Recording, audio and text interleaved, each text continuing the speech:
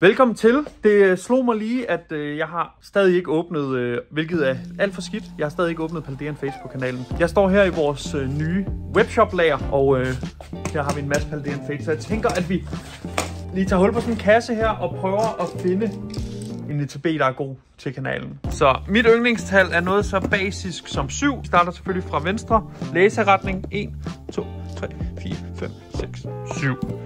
Og så skal vi fandme ramme Charizard'en. Mig og Lukas, vi åbnede jo 30 af dem her. Vi ramte ikke en eneste Cherry Charizard. Det eneste special art, øh, vi ramte, det var øh, Mew, faktisk. Men øh, lad os se, om der ikke kan ligge en Cherry Charizard i øh, den marker her. Og en meget, meget glædelig nyhed, synes jeg. Efter vi er kommet her på lager, har vi øh, kunne få styr på noget bedre internet. Nede fra butikken i København, der øh, har forbindelsen heddet øh, telefonstik, 2 upload eller et eller andet, og 20 megabit, whatever. Jeg har ikke kunnet streame derfra. Nu har vi endelig fået noget ordentligt internet, så nu kan vi faktisk komme i gang med nogle box breaks, nogle dispenser streams, nogle liveåbninger endnu. Så jeg tænker faktisk, at øh, nu på søndag om et par dage, der øh, holder vi dispenser stream kl. 17. Jeg smider en masse pakker ind på øh, hjemmesiden nu, som øh, man kan lægge i kur, hvis man klikker op på den tab, hvor der står live-åbning. Så kan man faktisk bare købe dem, og så bliver de åbnet live på søndag kl.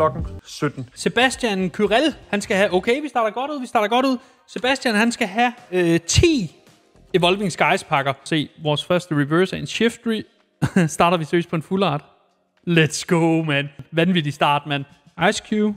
Ui! Vi kommer til at smide en øh, helvedes masse Paldean Fates op, som jo selvfølgelig er det nye sæt. Vi smider nogle billige Pokémon Go-pakker op. Vi øh, smider også noget Sword and Shield, noget Brilliant Stars, Lost Origin og en masse blandet op. Vi kommer nok til at trykke på en stopknap, hvis der lige pludselig er solgt 1000 pakker. Det, det regner jeg ikke med.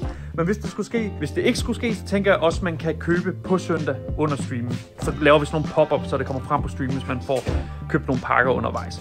Så øhm, hop ind på hjemmesiden, hvis I vil være med til en god gammeldags liveåbning, som vi kørte en masse af for i, i de gode gamle dage. Det skal vi i gang med igen. Så på søndag kl. 17, hvis du vil have åbnet dine pakker på livestream her på YouTube. Derudover, åh, jeg kan næsten ikke holde den, den er jo kæmpe tung, den her. Jeg sætter den lige herop. Whoops. Så holder vi faktisk giveaway på den her.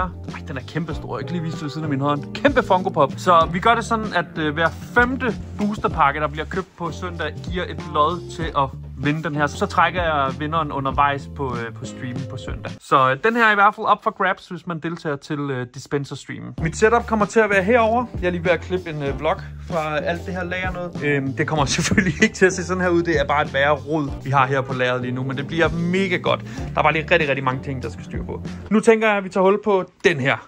Alright, hvis der er lidt larm i baggrunden, så er det Andreas, vores nye... Hvad må jeg kalde det, Andreas? Den nye lagertyre, kalder vi ham. Det er lagertyren her på kanalen. Lad os tage hul på sådan en øh, uh, Paldean Page. Det har jeg jo sådan set allerede gjort. Ups. Vi kender det godt. Vi plejer at få sådan et hæfte her, hvor alt det gode er i. Det behøver vi ikke at bruge så meget tid på. Udover at vise, hvad vi går efter. Så vi ligesom har jinxet den på forhånd. Den marker der. Cherry Sarden. Det er den, vi skal bede om. Lad os se, hvad vi har nede i sådan en marker. Bum. Op med den. Og så har vi, som vi plejer, alt muligt, vi ikke skal bruge. Det her det er noget af det, der er ret fedt, men alt det, vi ikke skal bruge, det kunne for eksempel være... Ja, Lærertyren skulle lige nys. Det kunne for eksempel være øh, 60 energikort. Sleeves er meget cool, de er i hvert fald flotte. Ikke så gode, men flotte. Ting vi ikke skal bruge, øh, part 2, det er terninger, det er dividers, det er kodekort. Ting vi skal bruge, og som er vigtige, det er de her ni pakker, som følger med. 1, 2, 3, 4, 5, 6, 7, 8, 9. Lad os prøve at tage hul på vores øh, første pakke her. Vi starter på en... Var der et hit her? Jeg kan ikke se det. De kan godt snyde lidt, de her Scarlet Violet pakker, synes jeg. En denne, en Nemona, en Natu, en Rare Candy, en Oinkilone. Så der er rimelig mange øhm, reprints, ligesom der var i Shining Fates. Og det her det er jo basically bare den nye Shining Fates. Vi har en Reverse Varum, Vi har en Reverse Iono. Det er faktisk, øh, det er faktisk et hit. Det her det er et super, super godt kort øh, at spille med. Og så har vi en Foil Executor. Stærkt. Eller nej. Det, det var faktisk en Ja, det var en dårlig pakke. Lad os hoppe ind i næste pakke. Hvor vi starter på en Noibat. Virkelig, virkelig godt navn til en Pokémon, synes jeg. En øh, Chimecho, tror jeg. Chimecho har jeg altid kaldt den. Skal vi bare blive ved med det? En Grablock. En Nemonas Backpack. En Kilowattle, En Reverse Haunter. En Reverse Primate. Og en Foil hund, der gør Så ikke nogen hits endnu. Jeg ved ikke, jeg har været mega uheldig, og så har vi holdt midnatsåbning nede i, øh, nede i butikken, hvor der bare er ramt hit på hit på hit, men det, det er aldrig mig selv, der rammer dem. Det er måske også fair nok egentlig. En Cottony, en Pineco, en Normal, en Maractus, en Moonlit Hill, en Dunfan, en Atticus. Vi har stadig ikke ramt nogen shiny. Hvad fanden foregår der? En Execute Foil, en Lantern Foil, og vi rammer et EX, det var en Strawcabilly. Jeg ved ikke, om den stadig er spilbar, den har i hvert fald været rigtig, øh, rigtig god at spille med. Super cool. Videre til næste pakke. Jeg vil rigtig, rigtig gerne kunne øh, få lov at vise jer noget shiny i de pakker her, nu hvor det er, egentlig er hele temaet omkring det sæt her. Vi starter på en Fido, en øh, hund lavet af ler, en Natto, en Wooper, en Nestball, det er også et godt kort, en Lantern, en Oinkilone. Øj, vi har en shiny. Oh, nice. Det bliver en Klefki. Jeg ved faktisk ikke, om det er et godt kort. Måske. Men om ikke andet, så synes jeg, at de her shinies er markant federe, end de var i Shining Fates. Især fordi, at foilen sådan går helt ud på kanten her. Det kan jeg virkelig godt lide. Og så synes jeg også bare generelt, at selve det her stjernedesign, der er bag på Shiny Pokémon, er noget pænere her, end det var i Shining Fates. Øh, en Reverse Flittle og en Hollow Mimikyu.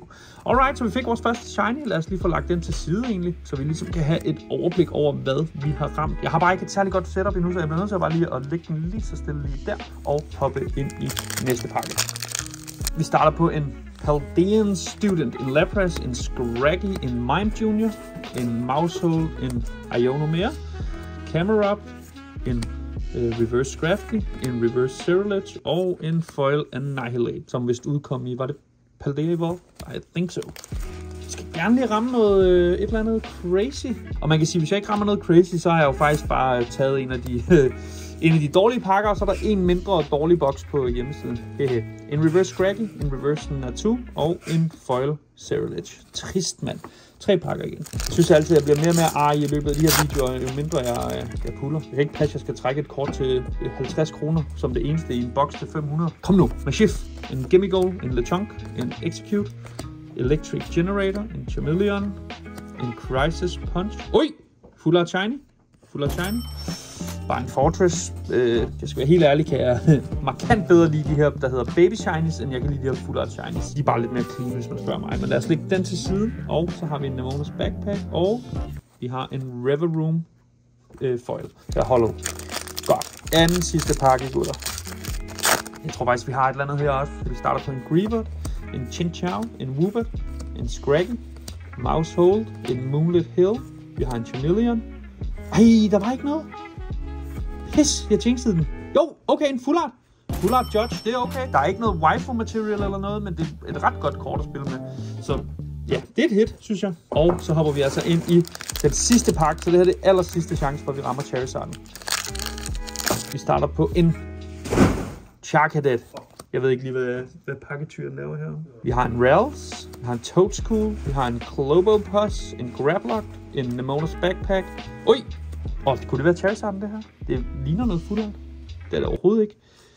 Men okay, en Shrootle uh, øh, Baby Shiny, det er sgu okay. Vi har ikke fået nogen Artburst dog. Og en Foil Armor Rouge.